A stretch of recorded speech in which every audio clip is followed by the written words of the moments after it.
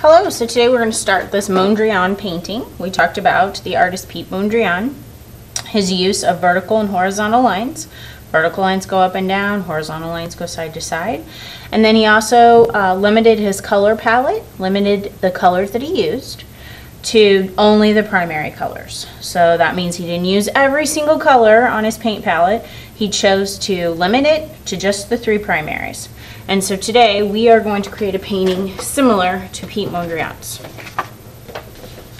You're going to start with a small white piece of paper. First thing you need to do is write your name and the day you have art. Day A, day B, day C. You're going to flip it over and then you're going to use a ruler to draw vertical and horizontal lines on your paper.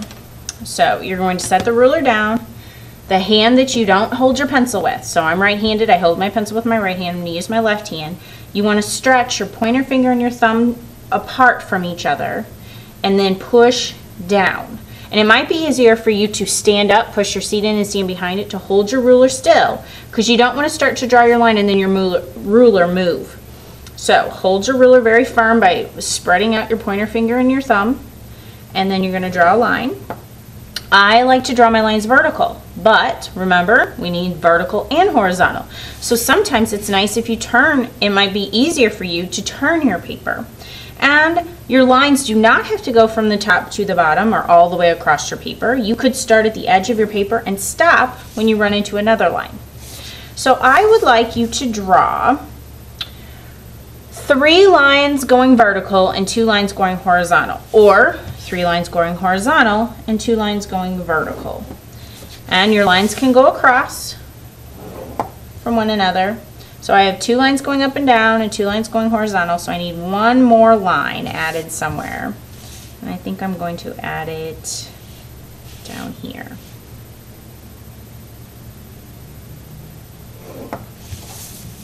And that should be enough. If you really um, think that you should add a line, um, one more or two more lines, you can come and talk to me and we'll look at your paper and look at the composition and the arrangement of your lines and decide together.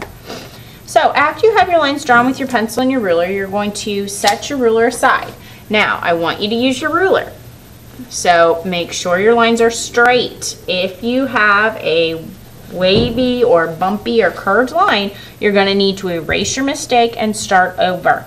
The ruler is a tool to help you draw a straight line, so I expect you to use it and I expect your lines to be straight. So now you're ready to paint your lines black. So you're going to get a manila paper to go under your work. And you are going to get a paint, an egg tray with black paint in it. I'm going to give you a small paintbrush so that you can make your lines skinny.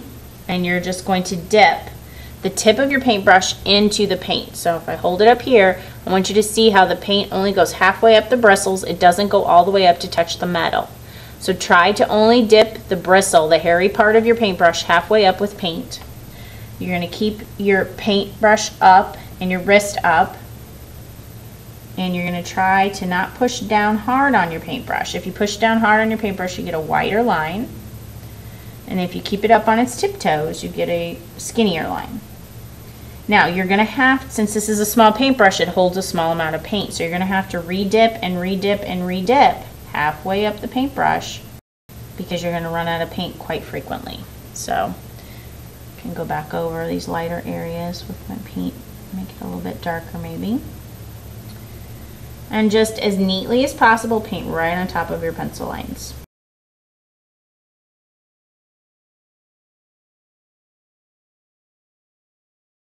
You might also find it's easier for you to turn your paper and paint your lines up and down as opposed to side to side, or you might find that it's easier to paint side to side as opposed to up and down. So feel free to turn your paper as you're painting. So once all of your lines are painted, you are going to put your painting on the drying rack, put the manila paper back over in the corner by the sink, and then you'll set your paintbrush in the sink and I'll come around and get your paint trays from your table. On the second day, you're ready to paint your primary colors. So you're going to need a paint tray with the primary colors. You're going to need a water basin. And you're going to need a sponge. Now the sponge should stay the sponge side up, the scrubby side with the printed um, colored side should stay down and keep your sponge side up. So th this time I'm going to give you a larger paintbrush. You're going to need to have a dry paintbrush, so don't put your paintbrush in the water like I did because then you have to dry it off on the sponge. And you're going to start with yellow, the lightest color first. So what I want you to do today, when you paint your primary colors, I want you to paint five boxes with the three primary colors. Five boxes with the three primary colors. So what that means is you're going to paint two boxes the same color.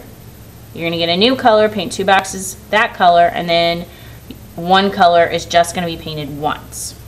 So I want you to start with yellow. You do not have to paint two boxes with yellow. You could just paint one box with yellow and then two boxes with red and two boxes with blue. But I want you to start with yellow. I want everyone to start with yellow because yellow is nice and clean.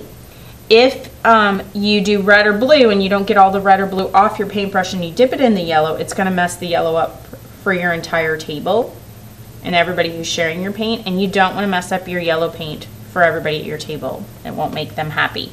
So start with yellow first, pick a box, any box that you want to paint. Paint it in nice and solid and try not to leave any white paper poking through. Okay, I'm going to paint a second box with yellow, but you do not have to. So now I'm ready to change colors. I can't take this messy paintbrush and put it in a new color because then it'll mess up the new color. I need to clean the paintbrush off. So I'm going to use the teeth at the bottom of the basin and run my bristles, the hairy part of my paintbrush, across those teeth.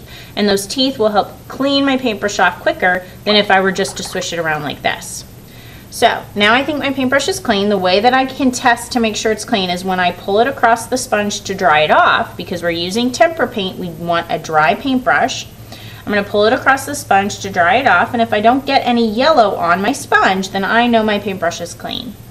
So now I'm going to go dip into red or blue next, doesn't matter. And remember last time when we painted our black lines, I asked you only to get paint halfway up the bristle part, halfway up the eight, the hairy part, that's the same today. You shouldn't have paint all over the metal part of your paintbrush. I'm going to paint one box red and then I'll paint two boxes blue and that will make my five boxes. So as you paint the primary colors, count your boxes and make sure you don't paint more than five. So now I'm going to rinse my paintbrush off across the teeth,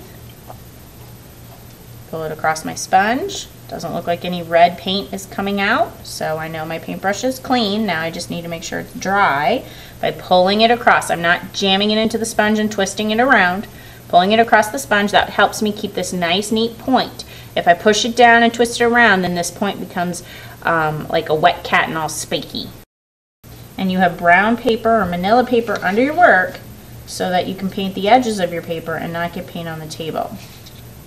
So that's why I'm scooting my paper up a little bit because I'm going to be painting the bottom edge of this.